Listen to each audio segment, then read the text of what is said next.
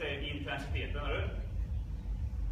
Aldrig på klockan, utan ska bara jobba på så många runder och så mycket vi orkar. Dagens pass, jag tänkte vi ska ta och leka lite grann som uppvärmning.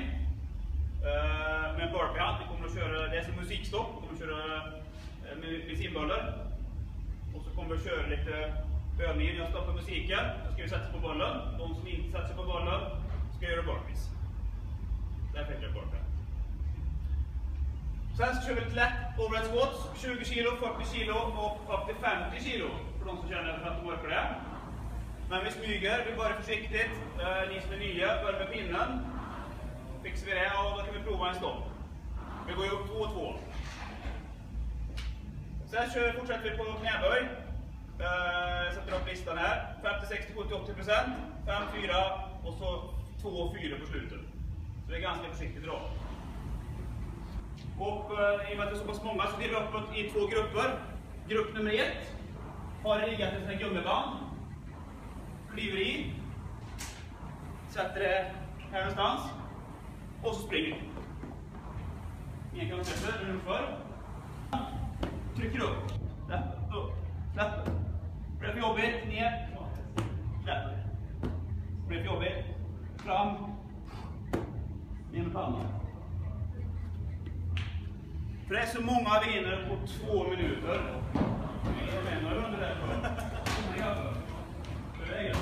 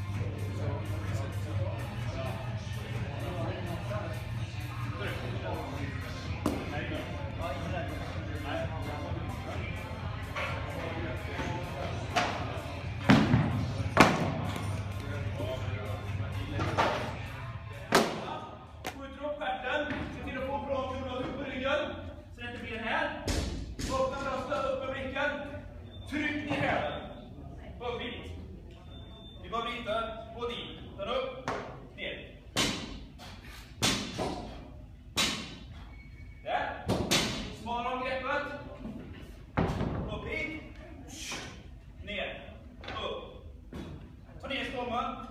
Olur mu?